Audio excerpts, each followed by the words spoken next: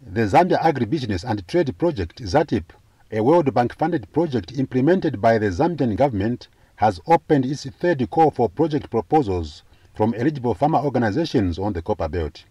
A team of officers from the Ministry of Commerce, Trade and Industry, where the project is housed, were in Mpongwe district to sensitize farmers on these possibilities. Chisenga Mumba is a communication specialist for the project. We currently have a call for proposals open which we opened uh, early in the month of December and we are closing on, uh, on Wednesday the 30th of December of this year. This is the third call for proposals that we've opened to just invite farmer groups under our uh, Building Productive Alliances in Zambia support program. That's component one of the project of Zambia Agribusiness and Trade Project. Now, under this particular drive, we support farmers with different forms of support, including uh, matching grants, that's 70% matching grant of whatever project that they want to undertake.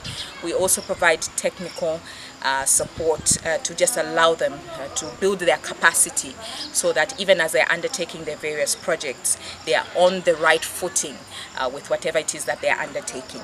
So Mpongwe is one of our target districts. The ZATIP team also demystify the funding misconceptions revealed through farmers' concerns and questions. twambira okumva namashiwe twambira kuli bambi abapokako nangufye lyashofo lyenda ati tabale funding uh, aba aba poultry eri pusho ifo tifishira poultry oma livestock uh, category we're talking of uh, piggery we're talking of poultry even poultry we're talking of three value chains with village chicken aggregation we're talking of broilers we're talking of amale amale. So those are very much welcome. ZATIP assured the farmers that the project was targeting small to medium scale farmers like themselves and not commercial farmers. people that are supposed to apply are the people who rely on the value chains.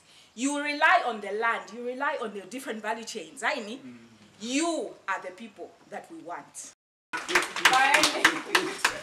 Three cooperatives in Mpongwe district alone have so far received funding worth a total of 513,720 kwacha. For Mpongwe district, three cooperatives have been funded so far under the agribusiness and trade project and a total of 513,720 has been benefited by Mpongwe district. It is hoped that farmers will take up the challenge and grab this carrot to benefit from government's goodwill.